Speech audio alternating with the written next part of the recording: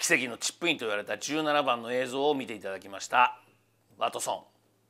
あのショットでニクラウスを破ったことにより新帝王という彼のニックネームが付けられるわけですね。さあ次なんですが1998年。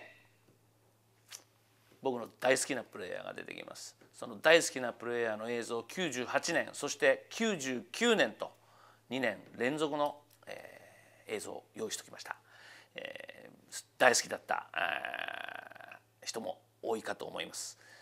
粋な男。この男が今でもアメリカのツアーにいてくれたらライダーカップをあれ以上アメリカがヨーロッパに手渡すことはなかったと思います。そうです。ペインです。見てください。